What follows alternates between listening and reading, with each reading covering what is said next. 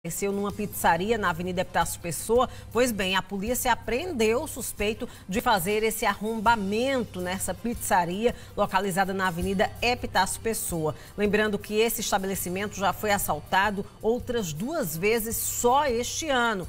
Nesse caso aí, as câmeras de segurança filmaram a ação que aconteceu durante a madrugada e o suspeito foi detido no centro de João Pessoa e levado para a central de polícia. Portanto, aí o caso caso elucidado pela polícia. Pelo menos dessa vez, o assaltante, a pessoa que arrombou aí a pizzaria, se deu mal.